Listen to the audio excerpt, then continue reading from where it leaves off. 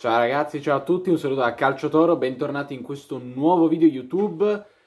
Io sono uno youtuber del Toro, io parlo di qualsiasi argomento che sia inerente a questa società, che sia dentro al campo oppure fuori dal campo. Eh, parlo delle partite, le, recen- recensisco, faccio il giorno dopo, commento le scelte societarie, la gestione che viene fatta di questo club, le scelte di marketing, marketing le scelte social, eh, commento un po' tutto quello inerente al mondo Granata, alla sfera Torino Football Club 1906. Ed è dunque mio dovere, mio compito fare da megafono alle proteste di oggi alle 3 di pomeriggio, eh, fuori dai cancelli del Philadelphia, un argomento eh, di cui sui social si è parlato poco, qualche post dedicato, eh, ma che per me è molto importante enfatizzare e anzi molto importante sottolineare la differenza di approccio eh, rispetto agli, ai soliti striscioni, alle solite critiche magari anche costruttive rivolte sui social, eh, cancellate, bloccate, bannate con un solo click dal nostro mitico social media manager. Eh, io direi un po' di approfondire il discorso, dirvi la mia, perché questa conte- contestazione ha avuto,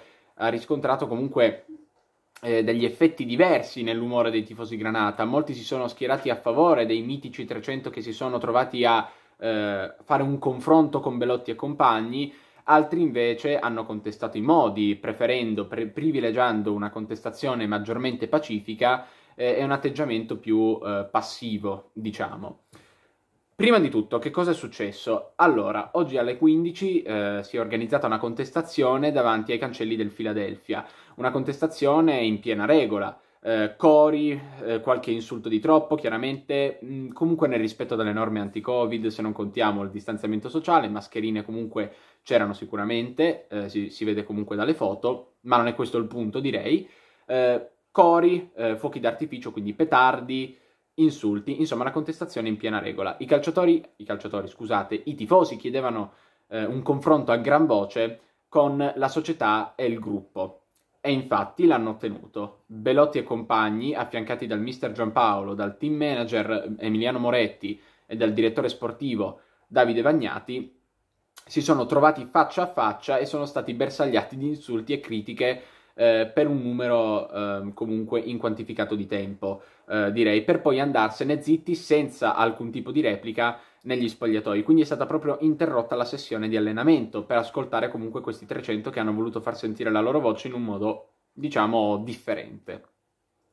Oggetto dei cori, degli insulti, particolarmente eh, sono stati eh, il presidente Urbano Cairo, chiaramente per la sua gestione negli ultimi 15 anni, per le sue dichiarazioni, per le continue prese in giro e per aver ridotto il Torino a una squadra da salvezza tranquilla, nulla più, per averci fatto vagare nella mediocrità più assoluta e comunque per una serie di mo- motivi, molteplici motivi che non sto neanche qua a elencare, penso che li abbiamo trattati eh, in modo riguardevole più volte negli ultimi video. Eh, ed, e, e, i cori hanno anche riservato qualche insulto per il gruppo squadra in generale, ma specialmente per Jacopo Segre, il ragazzo eh, sotto bersaglio ancora per la foto con la maglia di, di Bala, maglia della Juventus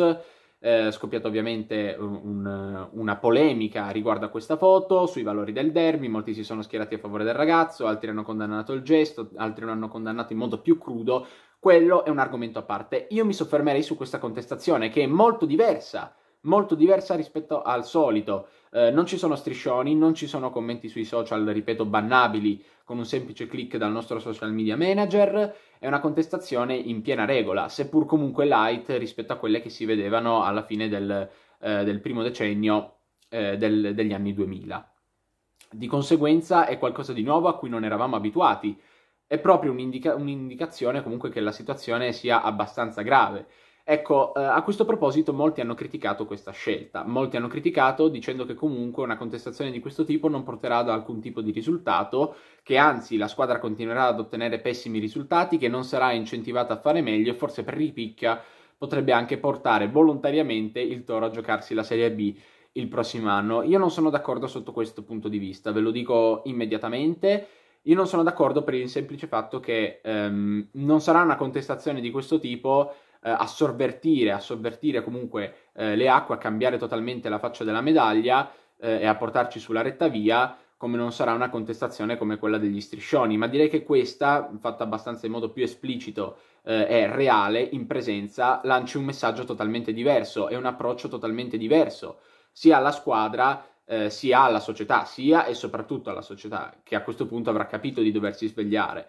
Eh, l'atteggiamento dei calciatori e gli errori che vengono fatti in campo è un qualcosa su cui deve lavorare il mister nelle sessioni di allenamento, è un qualcosa che va curato con i mental coach, è qualcosa eh, di cui va parlato con gli esperti del caso, di sicuro non con gli ultra.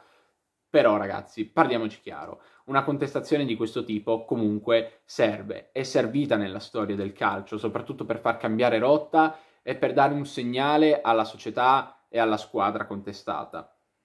Io penso che sicuramente um, un discorso di questo tipo, del tipo queste contestazioni non servono, eh, andrebbe applicato anche allora agli striscioni che tanto vengono osannati e ricondivisi con i social, sui social eh, e che fanno tanto clamore o comunque tanti like, condivisioni e eh, arraffano consenso. Dunque io stimo questi 300 che si sono eh, presentati davanti al Philadelphia, hanno fatto capire che le cose così non vanno bene, non hanno usufruito di violenza fisica, semplicemente verbale, eh, se vogliamo dirlo, però io penso che comunque vada cambiata rotta. Così non va assolutamente bene. Eh, è un evento straordinario che certifica il periodo buio che stiamo vivendo, questa, questo, questo tipo di contestazione, quantomeno perché di contestazioni light ne abbiamo avute a centinaia. E quindi niente ragazzi, eh, io come eh, youtuber del Torino, secondo più grande dopo Falso 9, comunque eh, facente parte di una community che adesso è in crescita su YouTube, mi sento in dovere di eh, fare da megafono e incentivare proteste di questo tipo, soprattutto per contrastare ehm, insomma questa quest'area di, di, sufficienza della società e, e soprattutto invogliarli a eh, cambiare rotta, cambiare totalmente registro oppure semplicemente cedere a qualcuno di più competente con più voglia di gestire il toro in maniera soprattutto migliore. Non mi vengono parole migliori per dire quello che penso, onestamente.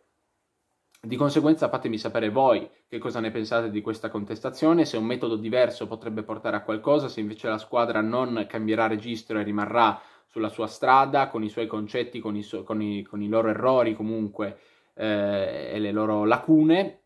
oppure da domani vedremo un toro diverso o comunque otterremo una risposta dai piani alti che stanno trascurando, direi, e non poco eh, il ceto medio, tra virgolette, per ceto medio intendo i tifosi granata. Mettete like al video, iscrivetevi al canale YouTube, condividetelo, seguitemi su Instagram, chiocciola calciatore, ci vediamo al prossimo contenuto a tema toro. Ciao ragazzi!